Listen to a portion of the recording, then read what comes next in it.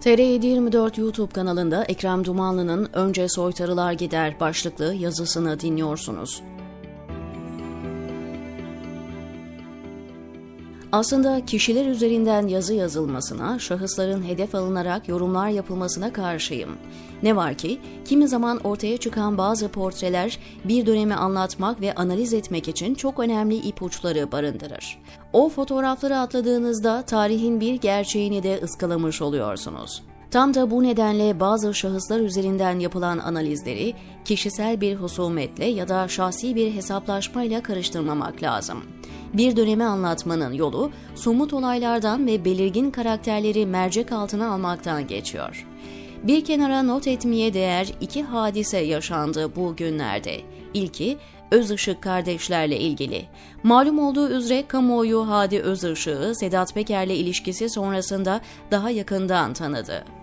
Bir internet sitesi işleten Hadi Özışık, meğerse organize suç örgütü lideri Sedat Peker'in yakın dostuymuş. Aynı zamanda İçişleri Bakanı Süleyman Soylu kendisiyle 30 yıllık dostluğu olduğunu söyledi televizyon ekranında.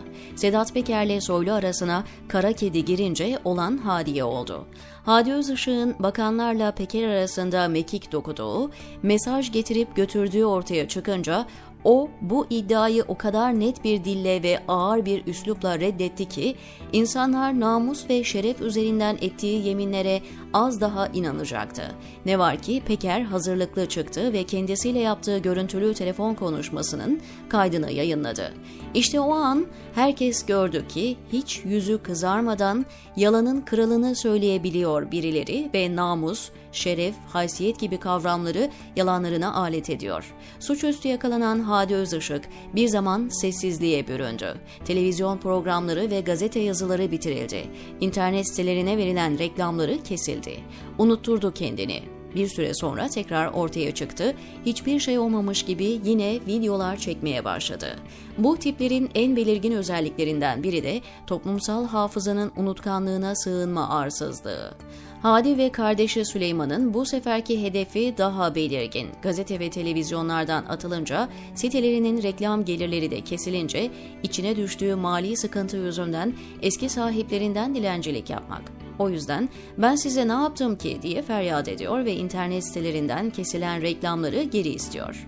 Nafile Dün haraca bağladıkları belediyelerden veya kamu kuruluşlarından artık reklam akışı eskisi gibi olmayacaktır. Peki o reklamları, sponsorlukları vaktiyle hangi meziyet ve liyakatle alıyorlardı? Kazandıkları paranın meşruiyetini öğrenmek isteyen, kendisi de bu dönemin başka bir kriminal portresi, şimdilerde cezaevinde olan Fatih Tezcan'ın iddialarına bakabilir. Tezcan, Özışık kardeşlerin hangi belediyelerden tehdit, şantajla nasıl para sızdırdıklarını uzun uzun anlatıyordu. Bu manzara bu dönemin önemli bir fotoğrafıdır. Aslında herkes birbirinin neyi nasıl götürdüğünü çok iyi biliyor. Aralarından birinin kafası bozulunca ya da paylaşım kavgası çıkınca biz öğrenebiliyoruz olan biteni. Tıpkı Troliçe Hilal'in Nuh'un köpekleri diyerek Oda TV'yi ifşa etmesi gibi. Neyse, biz dönelim son gelişmeye. Hadi bir yandan feryat ediyor, kardeşi Süleyman diğer yandan. O Süleyman ki meslektaşlarını ihbar ederek hapislere düşmesini sağlamış, söylediği palavraların mahkeme salonunda nasıl çürüyüp gittiğini çoktan unutmuş. İşsiz kaldığını, sigortasını yatıramadığını, hastaneye gidemediğini söylüyor. Bir zamanlar paraya boğulduğu çevrelerden yardım talep ediyor. Hafta içinde ibretlik bir olay daha yaşandı. Akit'in en saldırgan, en cahil, en ukala ve gittiği her yeri provoke ederek kavga çıkarmaya başaran muhabiri Mehmet Özmen gazeteden kovulmuş. Demek ki raf ömrü tükenmiş. O da ne yapmış? Çok çaresiz kaldım diyerek Akit yönetimi tarafından mobbinge maruz kaldığını söylüyor ve Cumhurbaşkanı Erdoğan'dan destek istiyor. Kim bu Özmen? Zaman gazetesine baskın yapıldığında, binlerce meslektaşı işsiz kaldığında, maşeri vicdan zorbalıkla susturulduğunda zil takıp oynuyordu. Sahiplerinin zamanın genel yayın yönetmenliği koltuğuna oturttukları soytarıyla yan yana fotoğraf çektiriyor, eski zaman yöneticilerinin adlarını yazarak Twitter'da dalgasına geçiyordu. Zannediyordu ki O gün sırtını dayadığı sahipleri her daim tetikçilerini besleyecek, koruyacak, kollayacak. Bu tiplere bırakın gazeteci demeyi insan bile diyemezsiniz. Önlerine kemik atanlar nereye hedef gösterirlerse oraya acımasızca saldırırlar ve bir gün sahipleri bunları kapının önüne koyuverir. O duruma düşünce de ellerini ovuştura ovuştura yeni sahip ararlar. Sözün özü şu sevgili okur. Çoğu gitti azı kaldı. Bir dönem sona eriyor.